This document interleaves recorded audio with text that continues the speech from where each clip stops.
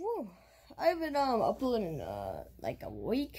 I haven't uploaded in a while. Usually I would upload like every day.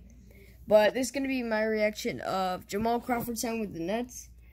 It's gonna be interesting. To be honest, I kind of expected it. Same with like Michael Beasley. I expected it because like most of them are like test most of them tested positive and they're not gonna obviously return of the season. Um how do I think the Nets will do? I mean, Jamal Crawford used to be good. I don't really think he's that good, but I'm pretty sure it will be interesting to see him play now. Um, just because like he hasn't played for a while, just because he hasn't gotten signed by a team.